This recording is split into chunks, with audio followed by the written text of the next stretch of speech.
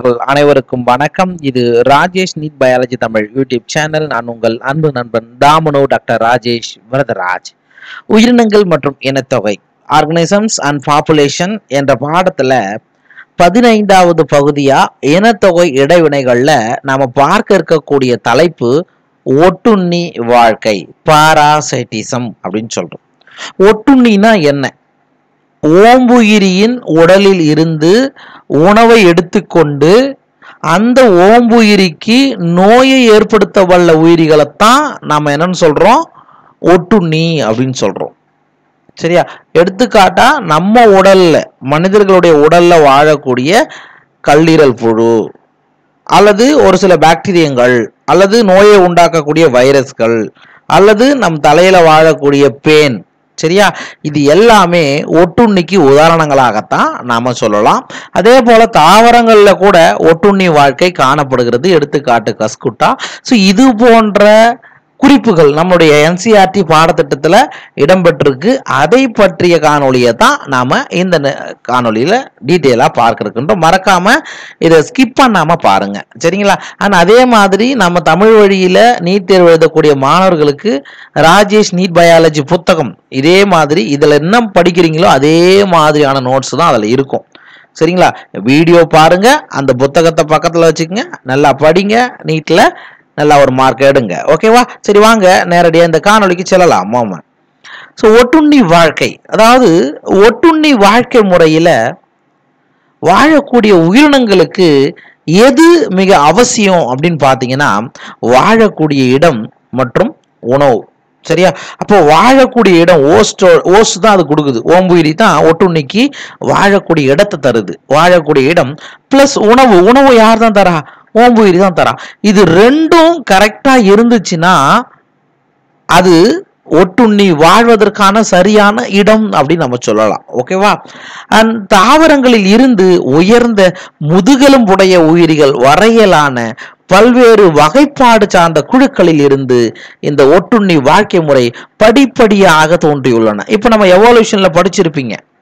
சரியா? அப்ப இந்த எவ்வாறு பரிணாமத்துல எப்படி தாவரங்கள் விலங்கினங்கள் உருவாகி இருக்கோ அதே மாதிரி தான் இந்த ஒட்டுண்ணிகளும் உருவாகி இருப்பதாக வரலாறுகள் சொல்கின்றன.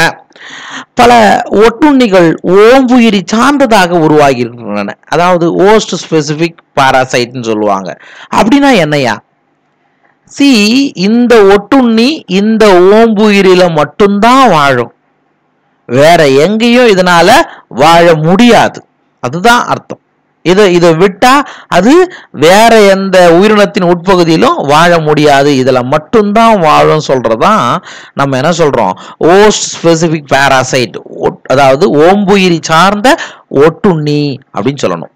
அப்ப அந்த இனத்துல மட்டுமே வாழ்ந்து அதோடைய லைஃப் சைக்கிள் ஃபுல்லாக அதில் மட்டும்தான் முடிக்க முடியும். வேற இனத்துல அதனால வாழ முடியாத மாதிரி நிறைய ஒட்டுண்ணிகள் இருக்கு. சரியா? அண்ட் இந்த வகையில் நாம் ஒட்டுண்ணிய சாரி இந்த வகை அதாவது இந்த ஒட்டுண்ணி வாழ்க்கை முறையை பொறுத்து நாம் ரெண்டுமே இணைந்தே தோன்றியிருக்குன்னு சொல்லலாம். எது எது? ஓம்புயிரியும் ஒட்டுண்ணியும் ரெண்டும் இந்த உலகத்துல உருவாகி இருக்கும் பொழுதே இணைந்தே உருவாகி இருக்கும் ஏன்னா இது இல்லைன்னா அது இல்லை அது இல்லைன்னா இது இல்லை என்ற காரணத்தினால. ஓம்புயிரிகள் உருவாகிறது எனில் ஒட்டுண்ணிகளை நிராகரிக்க அல்லது எதிர்க்கும் சிறப்பான வழிமுறைகளை கொண்டு உருவாக வேண்டும். அதாவது ஒரு நல்ல ஓஸ்ட் நல்ல ஒரு ஓம்புயிரி உயிரினம் அல்லது ஒரு தாவரம் அப்படின்னா அது எப்படி இருக்கணுமா? ஒட்டுண்ணிகளை நிராகரிக்கக்கூடிய தன்மை ரிஜெக்ட் பண்றது அல்லது எதிர்க்கக்கூடிய சிறப்பான வழிமுறைகளை கொண்டிருக்க வேண்டும். அப்படி இருந்தா தான் அது நல்ல விதமான ஓம்புயிரி நீங்க சொல்லலாம். சரிங்களா? அந் வெற்றிகரமாக உருவாக்கப்பட்ட ஓம்புயிரிக்கு எதிராக ஒட்டுண்ணிகளானது எதிர்ப்பு மற்றும் நடுநிலையான வழிமுறைகளை உருவாக்க வேண்டும். சரிப்பா.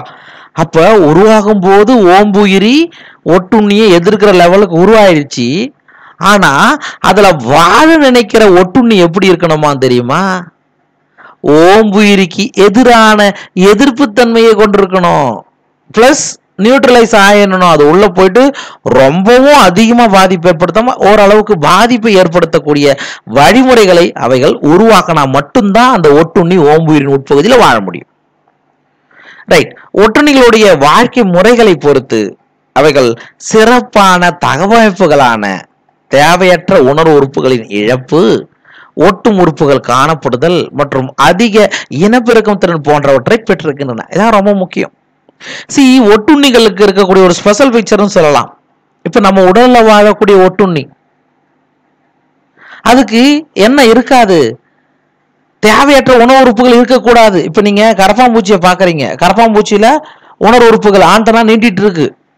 ஏன்னா அவர் உணவை தேடி கண்டுபிடிக்கணும். ஆனா ஒட்டுண்ணிகளுக்கு அந்த மாதிரி இருக்கக்கூடாது. இது ஃபர்ஸ்ட் ஒன் அண்ட் ஒட்டும் உறுப்புகள் காணப்படுதல். இப்ப நீங்க அட்டைப்பூச்சி பாக்குறீங்க லீச்சி. நம்ம உடம்புல எப்படி இருக்கும்? கப்புன்னு ஒட்டிக்கும். அந்த மாதிரி ஒட்டக்கூடிய உறுப்புகள் அதாவது ஓம்புயிரின் உடல் மீது ஒட்டக்கூடிய உறுப்புகள் இருக்கணும். அப்படி இருந்தா தான் அது சிறப்பான ஒட்டுண்ணி வாழ்க்கை முறை அப்படின்னு சொல்லலாம்.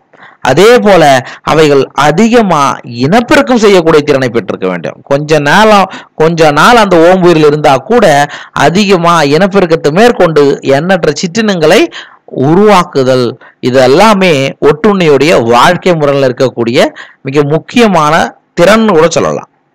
ரைட் ஸோ பெரும்பாலும் ஒட்டுண்ணியுடைய லைஃப் சைக்கிள் கொஞ்சம் காம்ப்ளெக்ஸ் சிக்கலானதுன்னு சொல்றோம். ஏன் அப்படின்னா இது தன்னுடைய வாழ்க்கை சுழற்சியை முடித்துக் கொள்வதற்கு ரெண்டு ஒன்று அல்லது ரெண்டு ஓம்புயிரிகளை அல்லது கடத்திகளை வெக்டார். அதாவது நோயை ஒரு இடத்திலிருந்து இன்னொரு இடத்துக்கு கொண்டு செல்வோர் கடத்திகள்னு சொல்லலாம். அப்ப ஒன்று அல்லது ரெண்டு ஓம்புயிரிகள் அல்லது ரெண்டு கடத்திகள் எதுக்கு தேவைப்படுகிறதுனா இந்த ஒட்டுண்ணிகளுக்கு தேவைப்படுகிறது. ஏன்னா அவருடைய வாழ்க்கை முறை கொஞ்சம் சிக்கலானதாக இருக்கும்.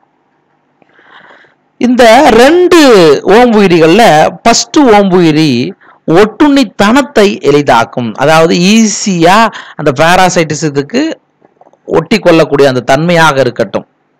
ஓம்புயிரில் வாழக்கூடிய தன்மையாக இருக்கட்டும். அதை எளிதாக்கக்கூடியதாக இருக்கும்.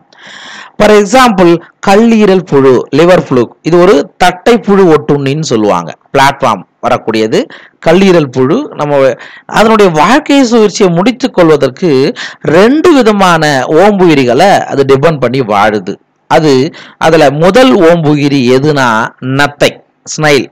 மற்றொன்று மீன் ஃபிஷ் சரியா? அப்போ உங்களுக்கு கேள்வி வரலாம்ல.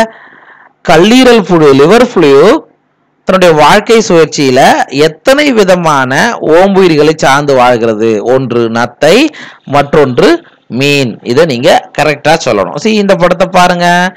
அப்ப கல்லீரல் புழுவானது கல்லீரல் புழுவானது இப்ப கல்லீரல்ல இருந்து நம்ம மனிதன் வெளியேற்றக்கூடிய மலத்தின் வழியாக நீர்நிலைக்கு வரும். அதை யார் சாப்பிட்றா?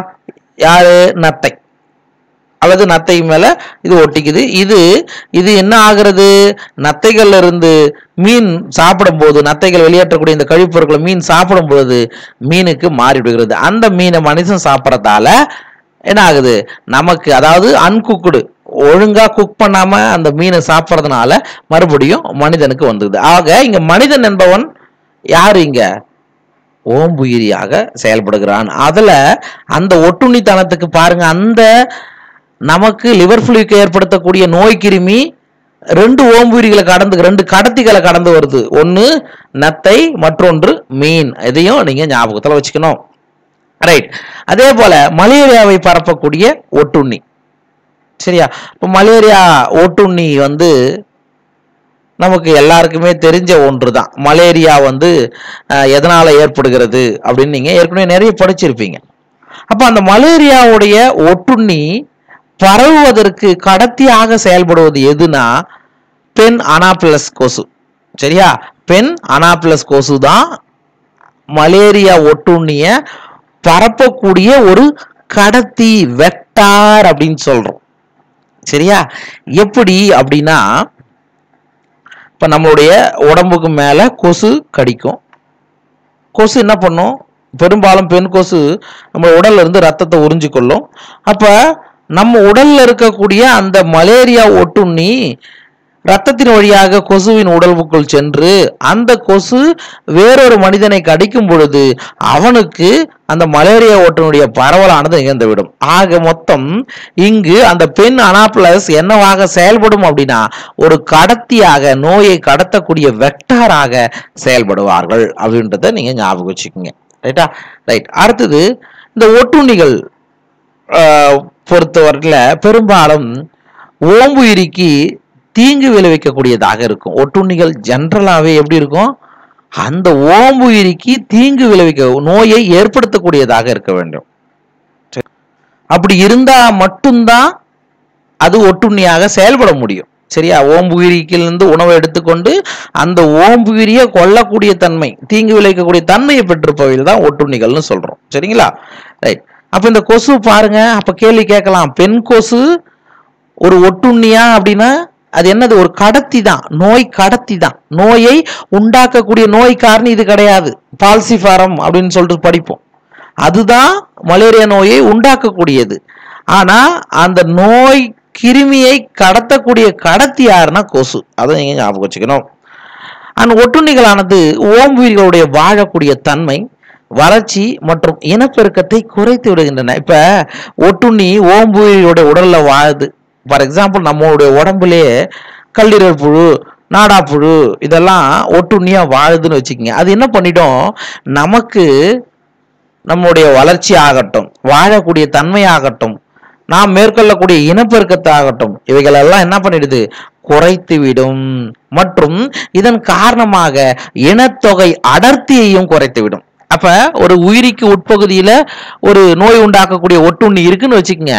அந்த ஓம்புயிரியோடைய வாழ்க்கை தன்மையை குறைப்பதோடு மட்டுமின்றி அந்த இனத்தினுடைய இனத்தொகையையும் என்ன ஆயிடும்?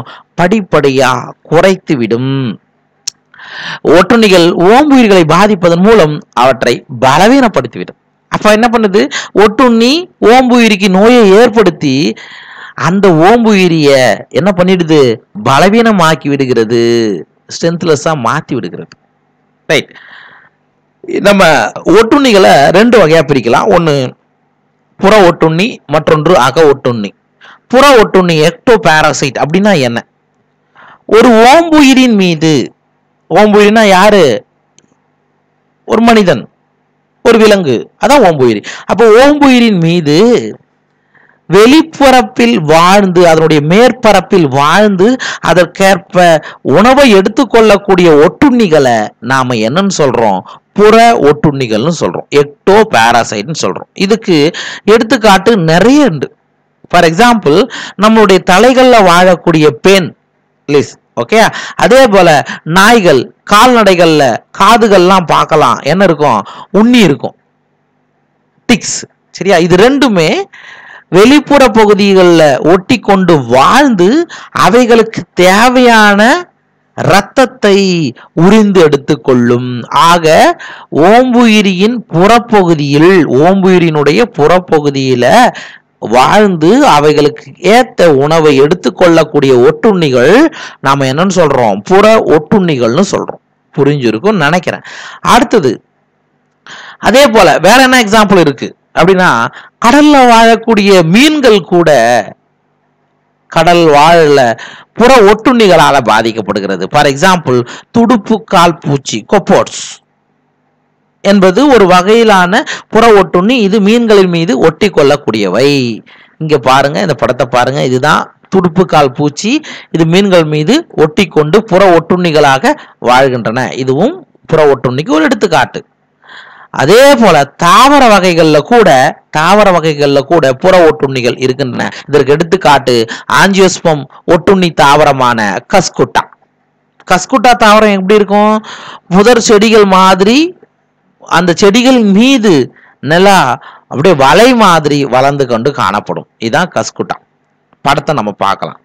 ஏன் இந்த கஸ்குட்டான்றது ஒரு தாவரம் தானே. ஏன் இது புற ஒட்டுண்ணியாக வாழணும் அப்படின்னு பார்த்தீங்கன்னா இதுக்கு இலைகள் இருக்காது. அதே போல ஒளிச்சேர்க்கை செய்வதற்கான பச்சைய நிறமிகள் இதில் காணப்படாது. இதன் காரணமாகத்தான் இந்த கஸ்கூட்டா என்ற தாவரம் எப்படி செயல்படுகிறது? ஒரு புற ஒட்டுண்ணியாக செயல்படுகிறது. இந்த படத்தை பார்க்கலாம். அப்ப தாவரங்கள் மீது இந்த மஞ்சள் நிறத்துல காணப்படுவதுதான் ஆஞ்சியோஸ்பம் வகையிலான ஒட்டுண்ணியான கஸ்குட்டா இது தங்களுக்கு தேவையான உணவுப் பொருளை எந்த தாவரத்தின் மீது வளர்கிறதோ அந்த தாவரத்தில் ஒரு சிறு துளையை அமைத்து அந்த துளையின் வழியாகவே இவைகளுக்கு தேவையான நீர் மற்றும் உணவுப் பொருட்களை எடுத்துக்கொண்டு வாழும். ஏனெனில் இவைகளுக்கு ஒளிச்சேர்க்கை செய்யக்கூடிய அந்த அமைப்பு இவைகளில் காணப்படாது. இதை நீங்க ஞாபகத்துல வச்சுக்கணும். சரிங்களா? ரைட் ஸோ இவைகள் எந்த தாவரத்தின் மீது ஒட்டுண்ணியாக வாழ்கின்றனவோ அதிலிருந்து அவற்றுக்கு தேவையான ஊட்டச்சத்தை பெறுகின்றன இதான் முக்கியம். சி இந்த கஸ்கூட்டா எந்த பிளான்ட் மேல ஒட்டுண்ணியா வாழுதோ சாரி ஓம்புயிரியோ எந்த ஓம்புயிரின் மீது ஒட்டுண்ணியா வாழுதோ அதிலிருந்து அதுக்கு தேவையான உணவு தண்ணி இதெல்லாம் எடுத்துக்கும். ரைட் அப்புறம் நம்ம இந்த பெண் கொசு மலேரியாவை பரப்பக்கூடிய இந்த பெண் கொசு இருக்குல்ல அனாப்ளஸ் குளுசிபேரஸ் இது வந்து ஒட்டுண்ணின்னு நம்ம சொல்ல மாட்டோம். ஏன்னா அது ஒரு கடத்தி மட்டுமே. என்னது? ஒரு கடத்தி மட்டும்தான் சரிப்பா அது நோய் கடத்தின்னு சொல்றீங்க. அப்புறம் ஏன் நம்மளை வந்து கடிக்குதுன்னா அந்த பெண் கொசுவுக்கு இனப்பெருக்கம் செய்வதற்கு மனிதனுடைய ரத்தம் தேவைப்படுகிறது. சரியா? அப்ப அதனால தான் நம்மளை வந்து கடிக்குது. ஆனா அந்த சமயத்துல இந்த என்னது? வைவாக்ஸ் பால்சிபாரம் போன்ற இந்த மலேரியா ஒட்டுண்ணியானது ரத்தத்தின் மூலம் கொசு கடிப்பதனால கொசுவின் மூலமாக மற்ற மனிதர்களுக்கும் பரவுகிறது அப்படின்றது ஞாபகம் வச்சுங்க ரைட் ரெண்டாவது அக ஒட்டுண்ணி. அக ஒட்டுண்ணின்னா என்ன? அப்படியே ஆப்போசிட்டு சி ஓம்புயிரின் உடலின் உட்பகுதியில் வாழ்ந்து அந்த ஓம்புயிரிக்கு நோயை உண்டாக்கக்கூடியவை நாம அக ஒட்டுண்ணிகள்னு சொல்லலாம். ரைட்டா அப்ப இது பெரும்பாலும் எங்க தான் இருக்கும்? ஓம்புயிரினுடைய உட்பகுதியில தான் அது உடலினுடைய உட்பகுதியில மட்டும்தான் வாழும். ஸோ வெவ்வேறு உறுப்புகள்ல. என்னென்ன உறுப்புகளாக அக ஒட்டுண்ணிகள் இருக்கு அப்படின்னா கல்லீரல் சிறுநீரகம் நுரையீரல் சிவப்பு இரத்த அணுக்கள். சரியா? இது போன்ற உட்பகுதிகளில் கூட அக ஒட்டுண்ணிகள் வாழ்ந்து நோயை உண்டாக்குகின்றன. அப்போ மனிதனுடைய உடலில் வாழக்கூடிய கல்லீரல் புழு நாடா புழு இதெல்லாம் எதில் தான் வரும்? அக ஒட்டுண்ணிகளில் தான் வரும். அக ஒட்டுண்ணிகளுடைய வாழ்க்கை சுழற்சியானது மிகவும் சிக்கலான ஒன்று. ரொம்ப காம்ப்ளெக்ஸ் ஏன் அப்படின்னு பார்த்தீங்கன்னா அக வாழணும்னா அதுக்குன்னு தனி திறன் இருக்க வேண்டும். சரிங்களா? ஏன்னா புறமைப்பு மற்றும் உள்ளமைப்பு கூறுகளின் அம்சங்கள் மிகவும் எளிமையானது. இதான் ரொம்ப முக்கியம். ஏன்னா இவங்க டைரக்டா உள்ள போய் வாழ்றதுனால அதனுடைய புற அமைப்பும் சரி இந்த ஒட்டுணியோட புற அமைப்பும் சரி அதனுடைய உள்ளமைப்பும் சரி எப்படி இருக்கணும்? சிம்பிளா இருந்தாவே போதும். ரொம்ப சீரண மண்டலம் அதெல்லாம் இருக்கணும்னு அவசியம் கிடையாது. ஏன்னா உள்ளேருந்து வந்து ரத்தத்தை எடுத்துக்கிட்டு இது உயிர் வாழ போகுது. அண்ட் இன்னொரு ஒரு முக்கியமான ஒன்று ப்ராட் பாராசிட்டிசம் பறவைகளில் அடைக்காத்தல் ஒட்டுண்ணித்துவம்னு ஒரு மெக்கானிசம் இருக்கியா? ரொம்ப ரொம்ப ஒரு மிக முக்கியமான ஒரு எடுத்துக்காட்டுன்னு சொல்லுவோம். நீட் தேர்வில் வரலாம். பறவைகளில் அடைக்காத்தல் ஒட்டுண்ணித்துவம் நமக்கு ஏற்கனவே தெரியும். படிச்சிருப்பீங்க நிறைய படிச்சிருப்பீங்க. காகம் மற்றும் குயில். காகத்துக்கும் குயிலுக்கும் இருக்கக்கூடிய இந்த பறவை ஒட்டுண்ணித்தனம். எப்படி? பொதுவா பொதுவா என்ன அப்படின்னு என்ன இங்க நடக்கும் அப்படின்னா பொதுவா குயில் இருக்கு இல்லைங்களா? அந்த குயில் வந்து தன்னுடைய முட்டையை அடை காக்கக்கூடிய த திறன் பெற்றிருக்காது. அடை காத்தெல்லாம் என்ன? தன்னுடைய பறவைகள் வந்து அந்த முட்டைக்கு மேலே உட்காந்து கொஞ்சம் அடைகாத்தல் மூலம் ஹீட்டை இன்க்ரீஸ் பண்ணி அதிலிருந்து குஞ்சு பொரித்து வெளியே வருவது.